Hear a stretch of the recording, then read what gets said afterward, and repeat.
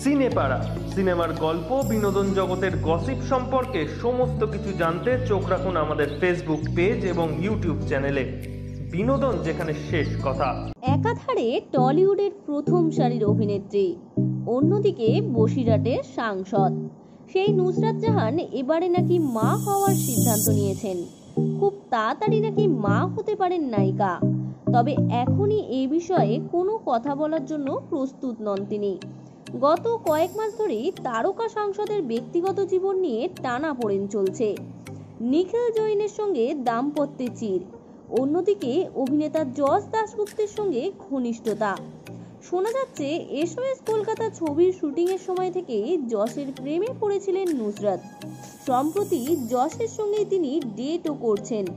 এবার নয়া চমক। শোনা যাচ্ছে, মা হতে চলেছেন তিনি। সে ব্যাপারে যদিও ব্রসিরাটের তৃণমূল সাংসদ এখনও কিছু বলেননি।